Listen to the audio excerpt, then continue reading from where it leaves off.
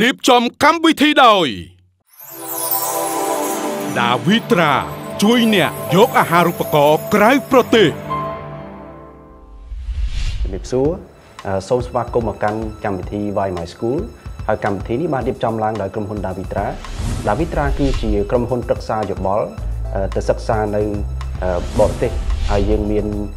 ដៃគូជាសាកលវិទ្យាល័យចំនួនជាង300នៅ13ប្រទេសផ្សេងៗគ្នា ហើយថ្ងៃនេះយើងនឹងជួបនិស្សិតមួយរូបដែលគាត់សិក្សានៅសាកលវិទ្យាល័យមួយនៅទីក្រុងភ្នំពេញឥឡូវសូមបងអូនណែនាំខ្លួនតិចថាបងអូនឈ្មោះអីដែរហើយឥឡូវកំពុងតែសិក្សានៅសាកលវិទ្យាល័យណាបាទជាដំបូងខ្ញុំបាទសូមជម្រាបសួរដល់បងបងនិស្សិតក៏ដូចជាបងប្អូននិស្សិតហើយជម្រាបសួរលោកគ្រូបាទអឺខ្ញុំបាទឈ្មោះហុងសុនឆាយសប្តាហ៍ថ្ងៃខ្ញុំជានិស្សិតឆ្នាំទី3នៃវិទ្យាស្ថានភាសាបរទេសហើយខ្ញុំកំពុងតែសិក្សា Department សិក្សាអន្តរជាតិ បាទបាទឥឡូវសូមបងអូនសុនឆាយជួយរៀបរាប់បន្តិចតើហេតុអីបានបងអូនជ្រើសរើសចូលសាកលវិទ្យាល័យមួយនេះសម្រាប់វិទ្យាស្ថានភាសាបរទេសមូលហេតុដែលខ្ញុំជ្រើសរើសទៅបន្តការសិក្សានៅទីហ្នឹងដោយសារតែកត្តាពីរយ៉ាងដែលមុនពេលដែលខ្ញុំបញ្ចប់មធ្យមសិក្សាទុតិយភូមិហ្នឹងខ្ញុំក៏លេចទៅមើលកត្តាទី1គឺគុណភាពអប់រំរបស់សាលា បាទអឺដែលគុណភាពហ្នឹងយើងអាចមើលឃើញតាមរយៈការប្រឡងចូលដែលគេហៅថា entrance exam ដែលនិស្សិតទាំងអស់ចាំបាច់ត្រូវតែប្រឡងចូលដើម្បីក្លាយខ្លួនជានិស្សិតនៅវិទ្យាស្ថានភាសាបរទេសបាទហើយកត្តាទី2គឺខ្ញុំមើលទៅលើបរិយាកាសនៃការរៀនខ្ញុំឃើញថាបរិយាកាសនៅទីនោះគឺមានភាពស្រស់ស្រាយហើយខ្ញុំគិតថាសម្រាប់ខ្ញុំខ្លួនខ្ញុំផ្ទាល់បាទបើសិនបើខ្ញុំទៅរៀនខ្ញុំអាចមានអារម្មណ៍ដាក់ចិត្តដាក់រៀនបានច្រើនបាទ ព្រោះថានៅកន្លែងហ្នឹងយើងអាចរៀននៅកន្លែងណាក៏បានអាចរៀននៅបណ្ណាល័យក៏បានអាចរៀននៅកាហ្វេដែលមាននៅក្នុងសាលាហើយស្រាប់ហើយកន្លែងដែលខ្ញុំជួយចិត្តទៅអង្គុយអានសភៅគេគឺនៅកន្លែង open space area ដែលមាននៅខាងក្រោមអាគារ E បាទឥឡូវសុំសួរកាត់បន្តិចថាតើពេលដែលឆាយប្រឡងហ្នឹងមានចាំទេថាមានសិស្សប្រមាណអ្នកដែលគាត់ប្រឡងមួយឆាយដើម្បីចូលរៀននៅ Department សិក្សាអន្តរជាតិបាទបាទតាខ្ញុំគិតដូចជាប្រហែលជា200អ្នកឡើងលើ បាទបាទខ្ញុំអត់ច្បាស់ថាតួលេខហ្នឹងប៉ុន្មានទេតែដឹងដឹងច្រើនដឹងខ្ទង់100 200ឡើងលើបាទហើយចុះនិយាយពីបរិស្ថានវិញឥឡូវចង់និយាយលំអិតតិចមកថាសកលវិទ្យាល័យហ្នឹងមានអីខ្លះនៅនៅក្នុងបរិវេណសកលវិទ្យាល័យដែលយើងគិតទៅថាបរិស្ថានហ្នឹងយើងទៅរៀនទៅស្រស់ស្រាយយើងចង់រៀននៅសកលវិទ្យាល័យហ្នឹងណាបាទលោកគ្រូបាទអឺនៅវិទ្យាសាស្ត្រភាសាបរទេសហ្នឹងទីមួយគឺវាធ្វើឲ្យនិស្សិតដែលរៀននៅទីហ្នឹងគាត់មានមានភាពត្រជាក់ ភាពត្រជាក់ត្រង់ម៉េចគឺថានៅក្នុងបរិវេណសាលាវាមានស្រះពីរបាទដែលនៅខាងមុខហើយស្រះមួយទៅនៅខាងក្រោយដែលស្រះហ្នឹងអាចនៅពេលដែលខ្យល់បក់ទៅវាមានភាពត្រជាក់ស្រួលអញ្ចឹងទៅដល់ពេលយើងដែលជានិស្សិតហ្នឹងគឺយើងសប្បាយនឹងការអានបាទបាទហើយមួយទៀតយើងមានបណ្ណាល័យដែលនៅក្នុងបណ្ណាល័យហ្នឹងយើងមានម៉ាស៊ីនត្រជាក់មានអីចឹងទៅអញ្ចឹងនៅពេលដែលសិស្សចូលរៀនទៅគាត់អត់មានអារម្មណ៍ស្រស់ស្អាតទេ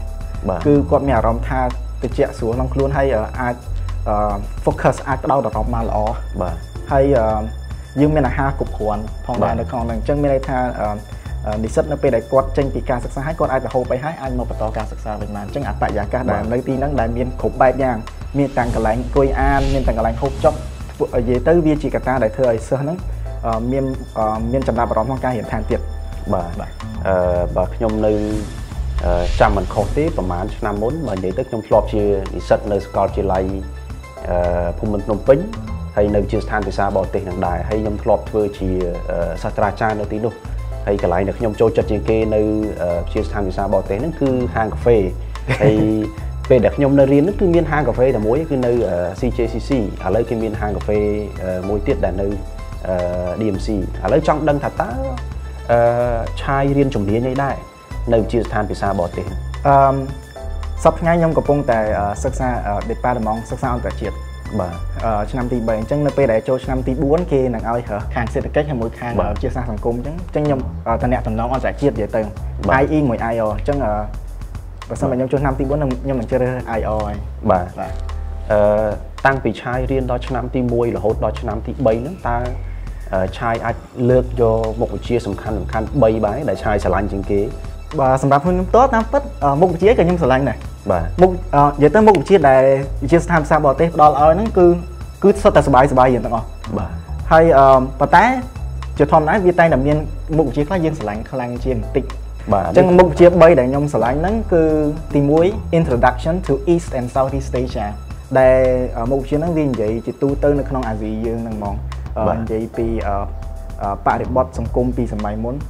អឺមកដល់សម័យឯករាជ្យហើយមកដល់សម័យឥឡូវ បាទ ដល់ពេលអឺមុខវិជ្ជាមួយទៀតគឺដែលខ្ញុំចូលចិត្តហ្នឹងគឺអឺ politics and government in Southeast Asia បាទនិយាយទៅអស់មុខវិជ្ជាពីរហ្នឹងវាប្រហែលប្រហែលគ្នាប៉ុន្តែគាត់បាទថាពេលដែលយើងចូលអឺអឺឆ្នាំទី2ទៅយើងរៀនអា government and politics in Southeast Asia ហ្នឹងគេរៀនពីប្រទេសមួយមួយហ្មងបាទបាទរៀងស៊ីជម្រៅជាងអាឆ្នាំមុនបាទហ្នឹងហើយហើយអឺមុខវិជ្ជាមួយទៀតដែលខ្ញុំឆ្លាញ់ហ្នឹងគឺ ASEAN Model Summit បាទព្រោះនៅពេលដែលអឺខ្ញុំមានមុខវិជ្ជាហ្នឹងខ្ញុំចាប់ផ្ដើមយល់ពីអឺអឺរបៀបនៃការដែលបាទយើងអឺ ឡើងនិយាយឡើងឆ្លើយតំណតំណងមួយប្រទេសប្រទេសនិយាយទៅនិស្សិតនីមួយៗគាត់ដើរតួជាអ្នកតំណាងប្រទេសមួយមួយដែលលោកគ្រូបាទអ្នកគ្រូក៏បានចែកឲ្យអញ្ចឹងហើយយើងត្រូវទៅសិក្សាស្រាវជ្រាវនៃប្រទេសទាំងអស់ហ្នឹងហើយលើកអឺពុទ្ធកាណាមួយមកពិភាក្សាគ្នាឲ្យដោះស្រាយបាទបញ្ហាហ្នឹងអញ្ចឹងវាពិតជាមានចំណារអារម្មណ៍មែនទេបាទបាទអរគុណអឺខ្ញុំសូមបើកវងចោកកន្លែងនេះមួយ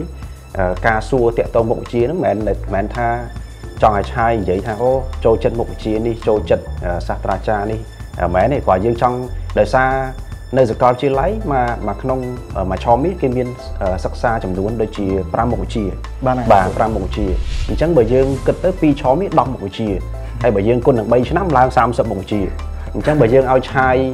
គាត់រៀបរាប់ទាំងអស់គ្រប់មុខវិជ្ជាហ្នឹងអត់បានទេអញ្ចឹងអឺសុំឲ្យឆាយគាត់រៀបរាប់តែ3មុខវិជ្ជាធំធំៗដែលអាចគាត់ចាំបានច្រើនឥឡូវសុំមកសួរអឺឆាយកន្លែងតាក់ទងជាមួយនឹងអឺ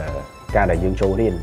តើពេលដែលយើងចូលរៀននេះយើងចូលរៀនជាលក្ខណៈអាហារូបករណ៍ឬមួយក៏យើងសិក្សាបង់ថ្លៃខ្ញុំចូលរៀនអឺអឺដោយដោយមានអាហារូបករណ៍ប៉ុន្តែបាទអាហារូបករណ៍ហ្នឹងអឺគឺខ្ញុំប្រឡងយកបាទអឺបើសិនបើបងប្អូននេះអឺបងប្អូនដែលត្រឹមតែបញ្ចប់អឺវិទ្យាល័យគាត់មាននិទេស A គាត់អាចបានអាហារូបករណ៍ប៉ុន្តែអាហារូបករណ៍ហ្នឹងសម្រាប់តែ department អឺអង់គ្លេសបាទដល់ពេលខ្ញុំរៀនអឺ department សិក្សាអន្តរជាតិអញ្ចឹងទោះបីអឺនិទេស A ឬក៏មិនទេស A ត្រូវតែប្រឡងយកបាទខ្ញុំបានប្រឡងយកបានអញ្ចឹង បាទបាទបាទហើយកាហ្វេដែលឆាយប្រឡងហ្នឹងប្រឡងបានទេអាហារូបករណ៍ហ្នឹងមើលទៅអាចចាំបានទេបើតាខ្ញុំចាំក៏ដូចជា150ឡើងលើលោកគ្រូ150អញ្ចឹងបាទជាប់អាហារូបករណ៍ប៉ុន្មានអ្នកដែរប៉ុន្តែដល់ពេលដល់ពេលដែលដល់ពេលដែលគេជ្រើសរើសយកអ្នកដែលជាប់អាហារូបករណ៍គេយកតែ5 10នាក់លោកគ្រូបាទបាទហើយត្រូវត្រៀមខ្លួននេះខ្លះបើអឺចង់ប្រឡងអាហារូបករណ៍ហ្នឹងហើយជួយប្រាប់បងប្អូនដែលគាត់មានបំណងចង់ទៅសិក្សានៅ Department សិក្សាអន្តរជាតិតើគាត់ត្រូវត្រៀមខ្លួនអីខ្លះបាទលោកគ្រូបាទ អឺក្នុងការត្រៀមខ្លួនដើម្បីប្រឡងយកអាហារូបករណ៍តាមពិតវាមានវិធីសាស្ត្រច្រើនអឺសម្រាប់អ្នកដែលគាត់អឺស្គាល់រៀមច្បងច្បងគាត់យកឯកសារបាទពីបងបងទៅហើយគាត់មកមកអានខ្លួនឯងស្វែងយល់ខ្លួនឯងទៅហើយមានសំណួរឲ្យសួរបងបងបាទប៉ុន្តែដែលប៉ុន្តែដល់ពេលការខ្ញុំវិញដោយសារតែខ្ញុំអត់អត់តន់ស្គាល់មានអ្នកណាអញ្ចឹងខ្ញុំស្វែងយល់ខ្លួនឯងអឺបាទខ្ញុំទៅសាលាហើយអឺអឺជំហានដំបូងដែលខ្ញុំចូលដាំអឺដើម្បីយកជាកលឹះជាវាថាជាបាទ step ដើម្បីយកអាហារូបករណ៍ហ្នឹងគឺខ្ញុំទៅរៀនថ្នាក់ត្រៀមដែលគេហៅថាបាទ prep course បាទអឺដែល IFL គេបានផ្ដល់ឲ្យដែលហើយក្រៅពីហ្នឹងខ្ញុំបានទៅយករៀនរៀនយកឯកសារមួយចំនួននៅខាងបាក់ទូកបាទដែលទើដែលនៅខាងហ្នឹងគឺខ្ញុំទៅប្រមូលឯកសារតាក់ទងមួយ TOEFL មួយ IELTS បាទដោយសារតែពេលប្រឡងហ្នឹងអឺជាធម្មតាគឺវាត្រូវតែមានភាសាអង់គ្លេសចូលក្នុងដែរក្នុងហ្នឹងវាមានវេយ្យាករណ៍មានអីបាទចឹងខ្ញុំចង់អឺធានាថានៅពេលខ្ញុំប្រឡងខ្ញុំចេះអាហ្នឹងផងហើយចេះអ្វីដែលមានព្រៀននៅក្នុងថ្នាក់ត្រៀមទៀត ចឹងខ្ញុំទៅប្រមូលឯកសារពីនោះទៀតបាទទៅគ្រប់ផ្លូវហ្មងបាទនិយាយចំទៅចុងក្រោយនេះសូមឲ្យឆាយជួយផ្ដល់អនុសាសន៍ទៅបងប្អូនបាទលោកគ្រូអឺបើសិនជាគាត់ចង់ទៅសិក្សានៅជាស្ថានភាសាបរទេសឬអនុសាសន៍ឲ្យក៏ដោយដែលយើងមើលទៅគិតថាមានសារៈសំខាន់សម្រាប់ជីវិតអឺសិក្សារបស់អឺនិស្សិតបាទបាទអឺសម្រាប់និស្សិតដែលមានបំណងចង់ទៅសិក្សានៅវិទ្យាស្ថានបរទេសជាពិសេសហ្នឹងគឺ ការប្រឡងយកអាហារូបករណ៍ហ្នឹងបាទខ្ញុំគិតថា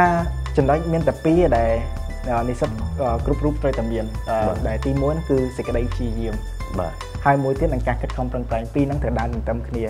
អឺយើងអឺព្យាយាមបណ្ដោះខ្លួនឯងអានឲ្យបានច្រើន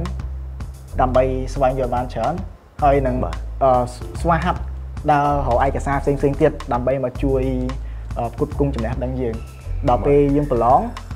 យើងអត់មានអីត្រូវព្រួយបារម្ភទេគឺយើងបាទគឺយើងអាចទៅរួចមកបាទបាទលោកគ្រូបាទអញ្ចឹងអឺ